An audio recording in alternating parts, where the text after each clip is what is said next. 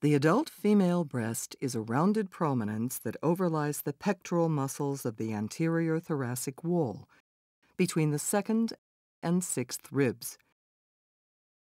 It includes the mammary glands, which are situated in the fatty subcutaneous tissue, separated from the deep fascia of the pectoral muscles by a potential retromammary space. Each mammary gland consists of 15 to 20 milk-producing lobes.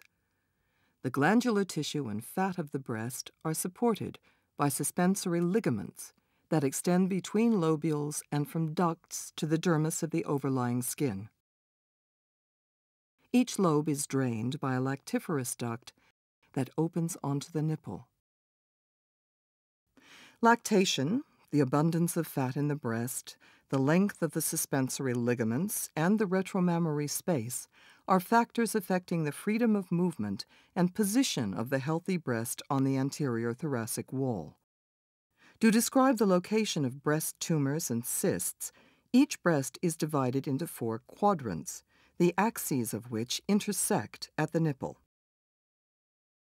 Carcinomas of the breast are malignant tumors usually adenocarcinomas arising from epithelial cells of the lactiferous ducts, occurring most frequently in women. Malignant tumors tend to metastasize, disperse via the lymphatic system. Therefore, it is important to understand the lymphatic drainage of the breast, as it helps to predict the likely course of metastatic breast cancer cells. Cancerous interference with lymphatic drainage causes a buildup of lymph, lymphedema, and may result in swelling of the arm and breast. Obstruction of the superficial lymphatics may cause a peau d'orange or orange peel appearance of the skin, caused by dermal edema around deepened hair follicles. Tumors may also put increased traction on the suspensory ligaments, causing dimpling of the skin. Most lymphatic drainage of the breast is to the anterior group of axillary lymph nodes, making these a most common site for the initial metastasis of breast cancer.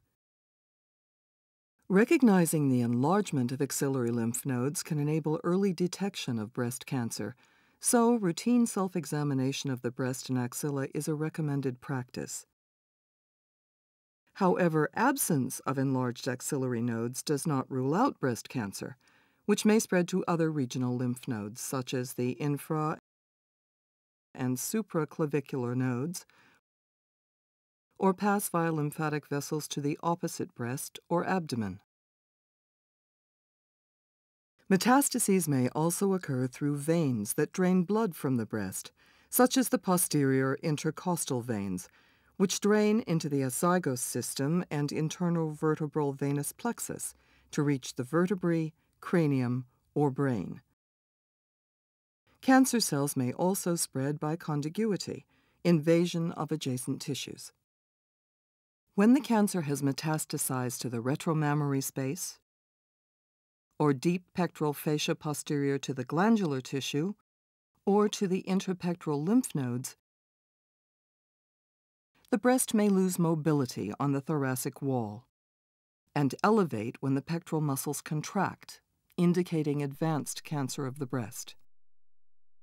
Breast cancer is less common in men and usually spreads to the pectoral fascia, pectoralis major, and apical axillary lymph nodes and presents late when the cancer has advanced extensively.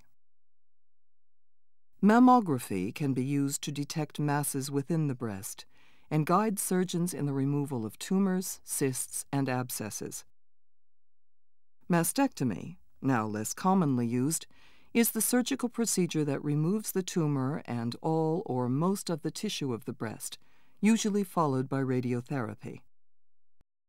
Lumpectomy and quadrantectomy are more common procedures that remove only the tumor and surrounding tissues, usually followed by radiotherapy.